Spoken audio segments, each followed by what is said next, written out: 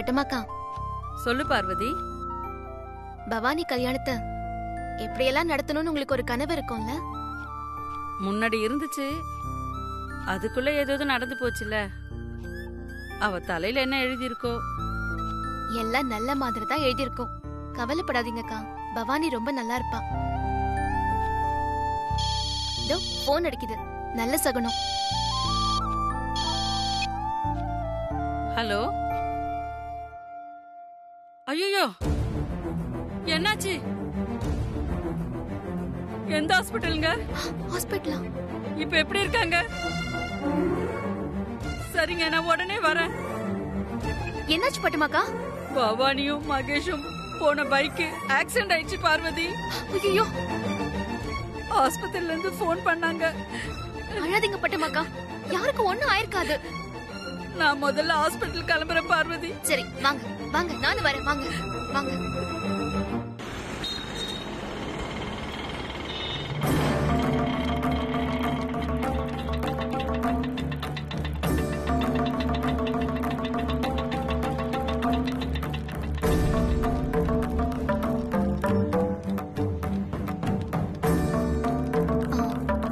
மகேஷ்னு ஒருத்தருக்கு ஆக்சிடென்ட் ஆகி மகேஷா? ஆமா. அவரை அட்மிட் பண்ணிருக்காங்க எங்க? எட்டாவது வார்டுக்கு போயிருங்க. வாங்கக்கா.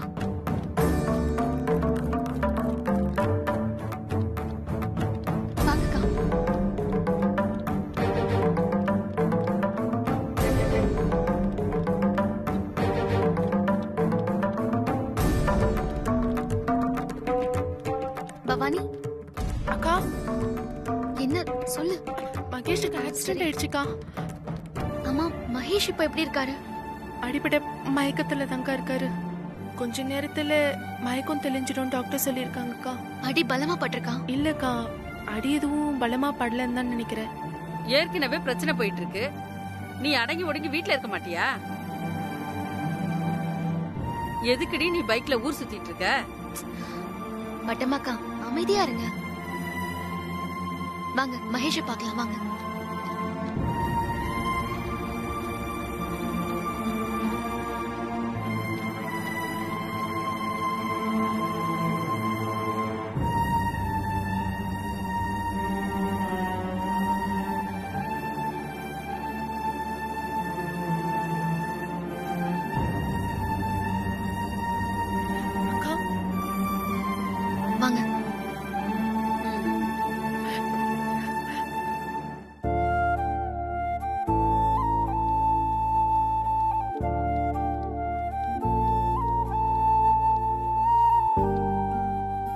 பயப்படுற அளவுக்கு ஒண்ணும் இல்ல பட்டமாக்கா சரியாயிடும்.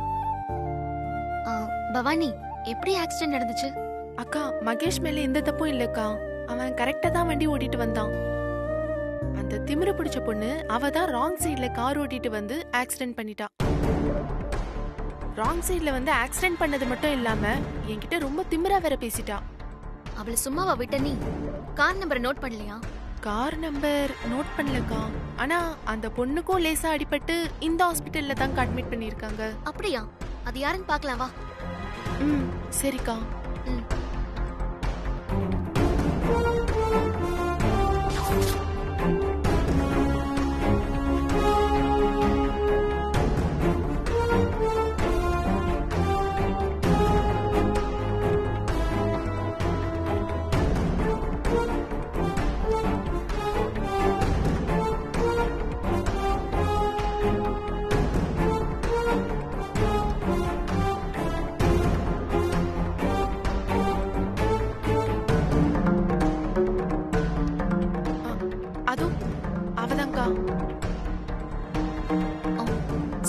பேசிட்டு வரேன்.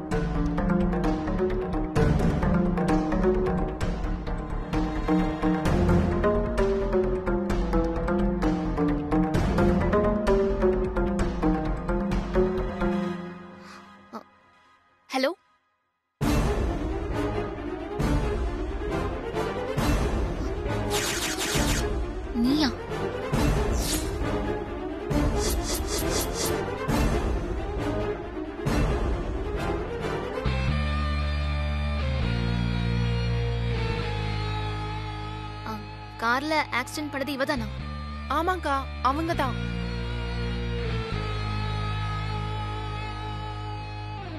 ஏன் உனக்கு நேர்வழியில போகவே பிடிக்காதா நந்தினி? ஏன் எல்லா விஷயத்திலயும் ராங்காவே இருக்க நீ? ராங் சைடுல வந்து ஆக்சிடென்ட் பண்ணதும் இல்லாம திமிரா வேற பேசுறியா நீ?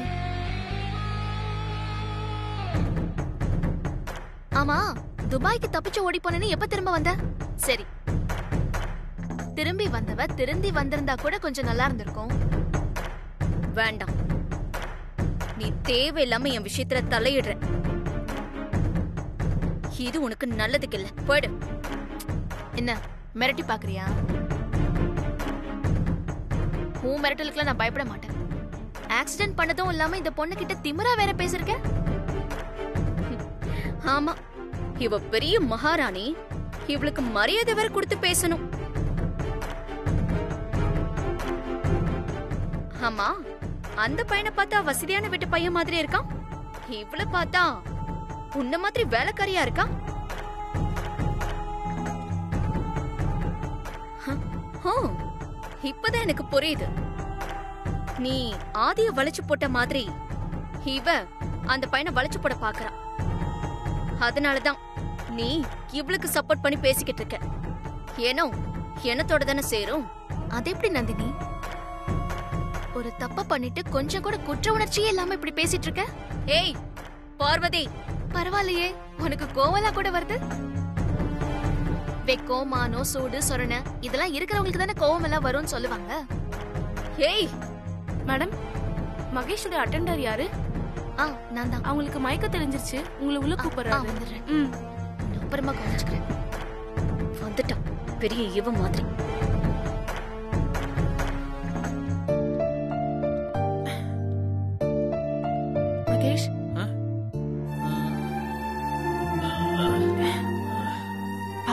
மகேஷ். எனக்கு ஒண்ணும் இல்ல பவானி. நான் நல்லா தான் இருக்கேன். வாங்க மேடம். எனக்கு பெருசா எதுவும் அடிபடல. நான் நல்லா தான் இருக்கேன். என்ன மகேஷ் நீங்க? இந்த மாதிரி பைக்ல ஊர் சுத்தலாமா மகேஷ்? கொஞ்ச நாள் பொறுமையா இருக்கலாம்ல. உங்க அம்மாவுக்கு விஷயம் தெரிஞ்சா பிரச்சனை இன்னும் அதிகமா தான் ஆகும். வெளியில எங்கும் ஊர் சுத்தல மேடம். கோவிலுக்கு தான் போனோம். நாங்க ரெண்டு பேரும் ஒண்ணு சேர்ந்து நவகிரகத்துக்கு விளக்கு போட்டு ஒன்பது தடவை சுத்தி வந்தா நாங்க ஒண்ணு சேர வாய்ப்பு இருக்குன்னு சொன்னாங்கக்கா. அதனால கோயிலுக்கு தான்க்கா போகணும். ஏதோ நல்ல நேரம். இதோட போயிடுச்சு. பெருசா ஏதாவது நடந்திருந்தா என்ன பண்றது? பட்டமாக்கா விடுங்க. நடந்தது நடந்து போச்சு. இப்ப அத பத்தி எதுவும் பேச வேண்டாம். ஆக்சிடென்ட் பத்தி வீட்டுக்கு தகவல் சொல்லியாச்சு மேடம் அம்மா அப்பா வந்துட்டு இருப்பாங்க. அவங்க வரும்போது நீங்க யாரும் இங்க இருக்க வேணாம். நீங்க பவானியை கூட்டிட்டு கிளம்புங்க. மகேஷ் சொல்றதும் கரெக்ட் தான். வா பவானி. சரிக்கா. பாத்துக்கோ. வர மகேஷ்.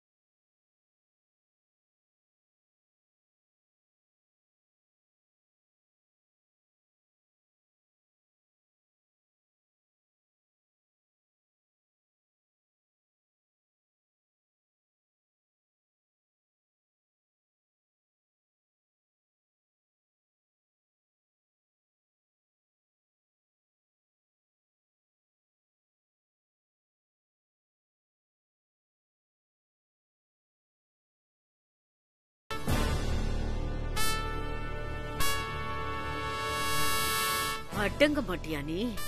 என்ன பிளான் போட்டு என் மகனை ஆக்சிடென்ட் பண்ணி ஹாஸ்பிட்டல் அட்மிட் பண்ணிருக்கீங்க? முதல்ல நீங்க கொஞ்சம் அடங்குங்க. என்ன சொன்ன? பார்வதி! நீங்க கொஞ்சம் அமைதியா இருங்க பட்டமாக்கா. நாங்க ஏதோ பிளான் பண்ணி ஆக்சிடென்ட் பண்ணதா நீங்க பேசிட்டு இருக்கீங்க ஆக்சிடென்ட் ஆனதுக்கு நாங்க காரணம் இல்ல. உங்கள மாதிரி பணத்திமுறை பிடிச்ச ஒரு பொண்ணு தான் ராங் சைடுல காரை ஓட்டிட்டு வந்து பைக் மேல மோதி இருக்கான் அதனால தான் ஆக்சிடென்ட் ஆயிருக்கு. கோபத்தையும் வீரத்தையும் காட்டணும்னு நினைச்சா போய் அந்த பொண்ணு கிட்ட. காட்டு என் கிட்ட எல்லாம் காட்டாத. என்ன? சாமர்த்தியமா பேசுறதா நினைப்பா? அப்படிலாம் ஒண்ணும் இல்ல. நடந்த உண்மையை தான் சொன்னேன். யாருக்கு வேணும் உண்மை? என் பையனுக்கும் இன்னொரு பொண்ணுக்கும் நிச்சயதார்த்தம் நடக்க போகுதுன்னு நல்லா தெரிஞ்சிருந்தும் அவன் கூட இவள பைக்ல ஊர் சுத்த வச்சிருக்க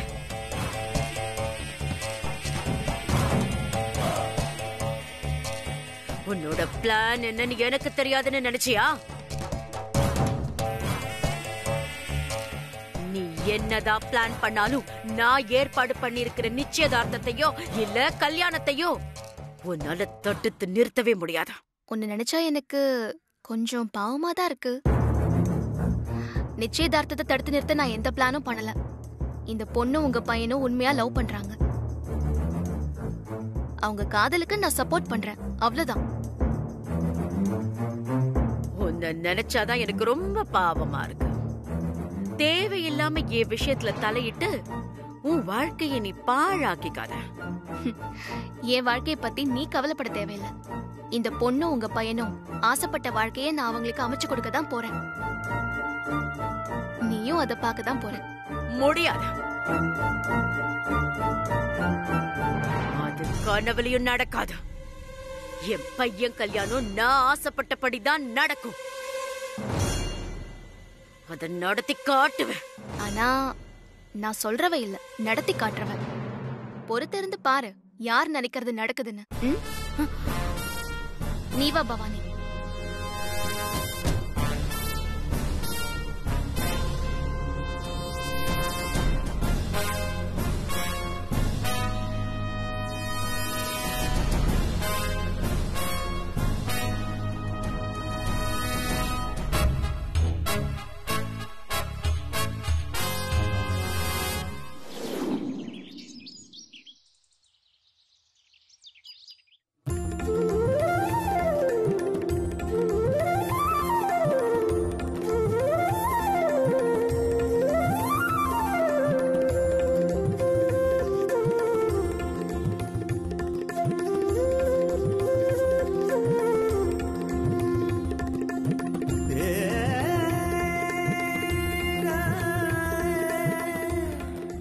பார்வதி. ஆ வாங்க மாமா. சுமங்கலி பூஜைக்கு எல்லா ஏற்பாடும் சிறப்பா செஞ்சுட்டு போல இருக்க. ஆமா மாமா. இந்த சுமங்கலி பூஜை நல்லபடியா முடிஞ்சாதான் அம்மா பண்ண பூஜைக்கான முழு பலனும் கிடைக்கும்னு குருஜி சொன்னார்ல ரொம்ப அருமையா இருக்கு. எல்லாம் நல்லபடியா நடக்கணும். பார்வதி பூஜைக்கான எல்லா ஏற்பாடுகளும் சிறப்பா இருக்கிறது சந்தோஷம்தான். ஆனா அதுக்காக காலையில இருந்து எனக்கு கண்டுக்கவே மாட்டியே ஒரு டீ கூட கொடுக்கல. சாரி மாமா. நான் குருஜி வரதுக்குள்ள எல்லா ஏற்பாடையும் பண்ணணும்னு சுத்தமா மறந்தே போயிட்டேன். இதோ இப்போ உங்களுக்கு டீ போட்டு கொண்டு வரேன். ஆ குருஜி. வணக்கம் குருஜி. வணக்கம். வாங்க. அது. டீய மறந்துரு. மறந்துட்டேன்ப்பா. வணக்கம் குருஜி. வணக்கம் குருஜி. வணக்கம். பார்வதி சுமங்கலி பூஜைக்கான எல்லா ஏற்பாடுகளும் ரெடியா இருக்கா? ஆ எல்லாம் ரெடியா இருக்கு குருஜி. நீங்க ஒரு தடவை வந்து எல்லாம் சரியா இருக்கான்னு பாத்துறீங்களா? நீ எல்லாம் சரியா தான் ஏற்பாடு பண்ணிருப்ப. சரி வாங்க குருஜி.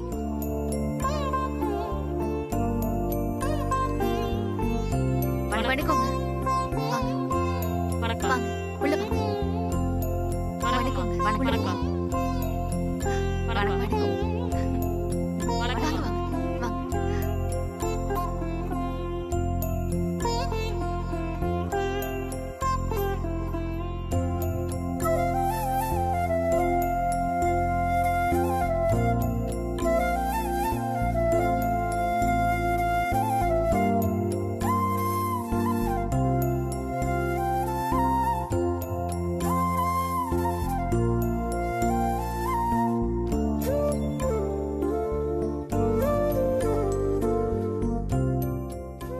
அகிலாண்டேஸ்வரி அம்மா ரெடி ஆயிட்டாங்களா? ரெடி ஆயிட்டாங்க. இப்போ வந்துருவாங்க.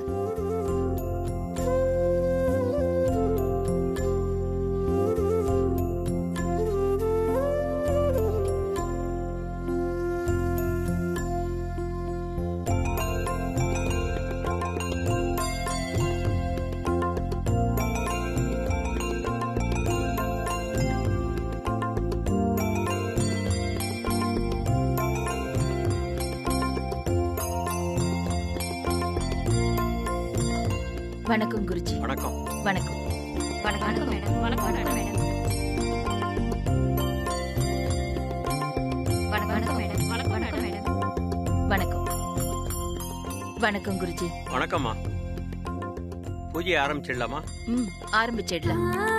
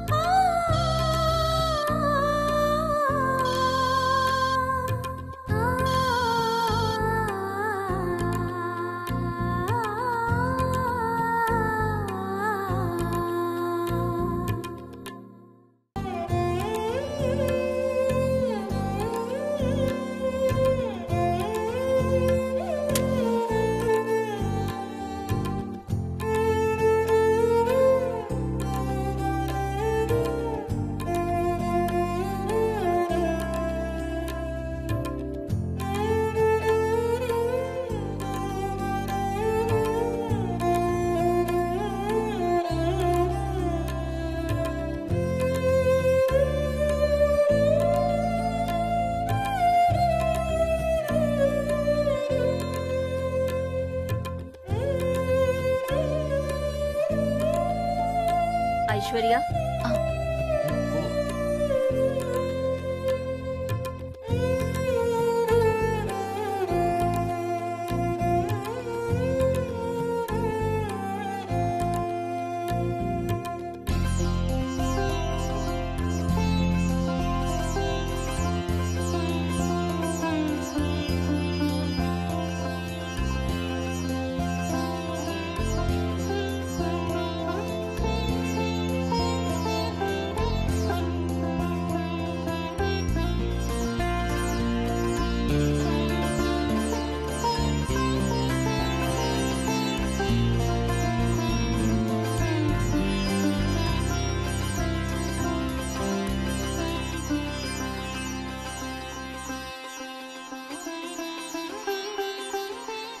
உங்க கையால சுமங்கலி பெண்களுக்கு மஞ்சள் குங்குமம் கொடுத்து அவங்க மாங்கல்யத்துல பொட்டு வச்சு ஆசீர்வாதம் பண்ணுங்கம்மா.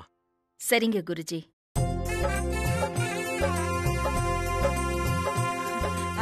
வாங்க. எல்லாரும் வரிசையா வந்து அக்கா கையால மஞ்சள் குங்குமம் வச்சுக்கோங்க. பார்வதி. எடுத்துக்கோ.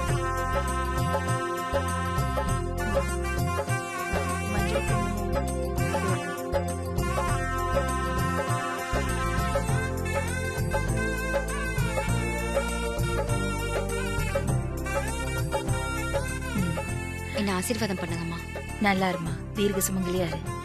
குடு. இந்தாம்மா ரொம்ப சந்தோஷம்மா.